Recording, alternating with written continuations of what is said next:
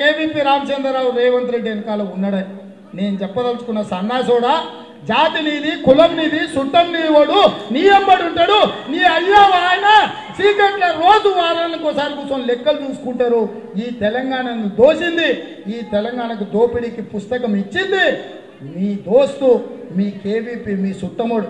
KVP చెప్పిందని ఈ తెలంగాణ రాష్ట్రానికి వ్యతిరేకంగా ఇక్కడ ప్రజలు ఉద్యోగాలకు కొట్లాడుతుంటే కాకినాడలో ఉండిన గజరావు భూపాల్ అని ఐపీఎస్ అధికారిని కేవీపీ రామచంద్రరావు చెప్తే డెప్యుటేషన్ మీద తీసుకొచ్చి తెలంగాణలో పెట్టినావు. ఈడ ఐఏఎస్లు ఐపీఎస్లు తెలంగాణ వాళ్ళు లేరా? మా బిడ్డ దగ్గర బిడ్డ ప్రవీణ్ కుమార్ లేడా? మురళీ లేడా? గడ నాగరాజు లేడా? మా వాళ్ళు లేరా? ఈ తెలంగాణ కోసం కొట్లాడిన వాళ్ళు లేరా? వీళ్ళందరినీ కాదని కేవీపీ రామచంద్రరావు చెప్పిండని కాకినాడ నుంచి మీ సుట్టపోని గజరావు భూపాల్ అనే ఐపీఎస్ ఆఫీసర్ను తెచ్చి హైదరాబాద్లో పోస్టింగ్ ఇచ్చిన మాట వాస్తవం కాదా? మీరు మీరు కూడబలుకొని మీరు మీరు సీకట్ల పంచుకొని మీరు మీరు ఊగిరేగుతారు నాకొచ్చి కేవీపీ రామచంద్రరావు నా వెనకాల ఉన్నాడని చెప్తావా? కేవీపీ రామచంద్రరావు గారు మొన్న రైతే రాజు పుస్తక రిలీజులో స్పష్టంగా మాట్లాడాడు. తెలంగాణ పీసీసీ అధ్యక్షుడు మమ్మల్ని గుర్తించాలి. మేము కూడా తెలంగాణలో ఉంటున్నామని విజ్ఞప్తి చేసింది. దీని అర్థమైంది మిత్రులారా? ఇన్ని రోజులు నేను ఏ వేదిక మీద కూడా కేవీపీ రామచంద్రరావుని పిలవలేదు కదా? ఎప్పుడైనా కాంగ్రెస్ ఏర్పాటు చేసిన సమావేశాలలో కేవీపీ రామచంద్రరావు పాల్గొన్నాడా? ఎన్నడైనా తెలంగాణ మీటింగ్లలో నేను పిలిచినా నేను పిసిసి అధ్యక్షుడు అయినాక అదే కేవీపీ రామచంద్రరావుతో నీ అయ్యా కేవీపీ రామచంద్రరావు దిగిన ఫోటోలు రేపు విడుదల చేస్తా బిడ్డ. ఏడ కలుసుకున్నారో ఏ సీకట్ల కలుసుకున్నారో మీ చుట్టం మీరు కలిసి ఏం గూడుపుటాన్ని చేస్తున్నారో నేను చెప్పదలుచుకున్నా. అదేవిధంగా సమైక్య రాష్ట్రం కోసం కొట్లాడిన షర్మిలమ్మ ఆమె కూడా తెలంగాణ అంటుంది. నేను ఈ సన్నాసుని అడగదలుచుకున్నా ఉద్యమకారులకు గుర్తు చేయదలుచుకున్నా. తెలంగాణ ఆత్మగౌరవం తెలంగాణ ప్రజల్ని పాలించే ప్రగతి భవన్ ప్రారంభోత్సవం ఎవరు చేసిండ్రు? గోదావరి జిల్లాలకు జరిగే ఉన్న చిన్నజీయర్ స్వామి ప్రారంభించి చిన్నజీయర్ స్వామి ముఖ్యమంత్రి కుర్చీలో కూర్చుంటే నీ అయ్యా సాష్టాంగపడి నమస్కారం పెట్టిన ఫోటోలు నేను రేపు విడుదల చేస్తా. మా బిడ్డల బలిదానాలతోటి మా దళితులు గిరిజనులు మా ఆదివాసులు కొట్లాడి ప్రాణాలు ఇచ్చి తెలంగాణ తెస్తే తెచ్చిన రాష్ట్రానికి వాళ్ళు ఓట్లేసి నేను ముఖ్యమంత్రి చేస్తే సన్నాసోడా? ప్రగతి భవన్ ప్రారంభోత్సవం రోజు ముఖ్యమంత్రి కుర్చీలో చిన్నజీయర్ స్వామిని కూర్చోబెట్టి సాష్టాంగపడి బోర్ల పడి దండం పెట్టి తెలంగాణ ఆత్మ గౌరవాన్ని ఆంధ్రుల కాళ్ళ దగ్గర తాకట్టు పెట్టిన సన్నాసి నా కొడుకులు మీరు మీరా నా గురించి మాట్లాడేది? మీరా? రేవంత్ రెడ్డి చిత్తశుద్ధిని ప్రశ్నించేది. నా ఎడమకాలు చెప్పుకు కూడా సరిపరు నువ్వు నీ అయ్యా. నీకాసైన తెలంగాణ బిడ్డను ఈ తెలంగాణ కోసం కొట్లాడినోని ఈ తెలంగాణ ప్రజల కోసం సచ్చటోని నేనని నేను ఈ సందర్భంగా చెప్తున్నా.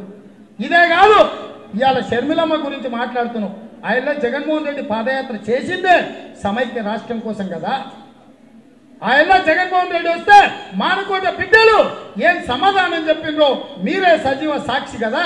అలాంటి జగన్మోహన్ రెడ్డిని ప్రగతి భవన్కు పిలిపించి పంచపక్ష ప్రమాణాలు పెట్టి సాధారణంగా శాల్వలు కప్పి సన్మానం చేసిన సన్నాసి నా కొడుకులు ఎవరన్నా ఉండరు అంటే మీ తండ్రి కొడుకులు అని చెప్పి నేను ఈ వేదిక మీద నుంచి చెప్పదలుచుకున్నా. చిన్నజీవ స్వామికి సాష్టాంగ నమస్కారం పెట్టింది మీరు. జగన్మోహన్ రెడ్డికి పంచపక్ష ప్రమాణాలు పెట్టింది మీరు.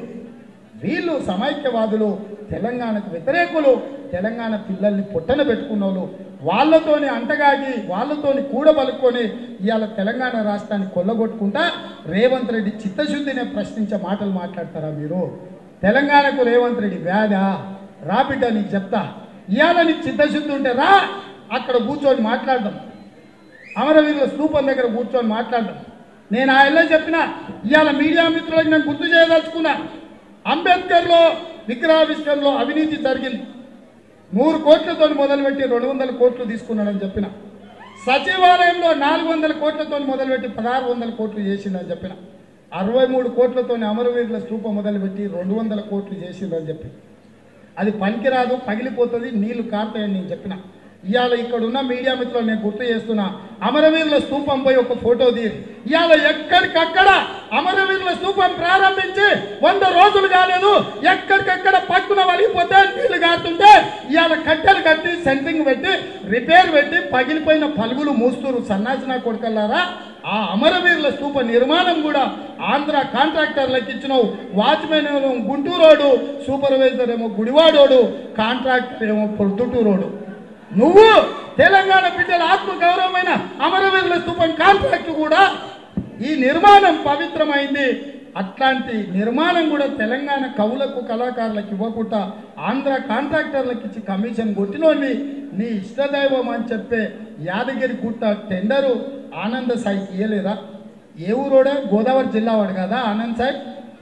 చివరికి యాదగిరి గుట్ట అని మనం పెట్టుకుంటే ఇవాళ యాదాద్రి అని పెట్టాడు ఆ దేవుడి మీద నమ్మకంతో ఊరికి పది మంది యాదగిరి అని పేర్లు పెట్టుకోరు ఇవాళ వాళ్ళ పేర్లు కూడా మనం యాదాద్రి అని మార్చుకోవాలా? ఇట్లాంటి సన్నాసివి నువ్వు నువ్వు నీ అయ్య నా తెలంగాణ చిత్తశుద్ధి నా పోరాటం గురించి మాట్లాడతారా? అసెంబ్లీలో నేను మాట్లాడిన చరిత్ర ఉన్నది.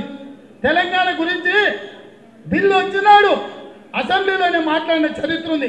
సజీవ సాక్షిగా రెండు వేల పదకొండులో గవర్నర్ నరసింహన్ గారు ఉండు అసెంబ్లీలో జరిగిన తతంగానికి సజీవ సాక్షి.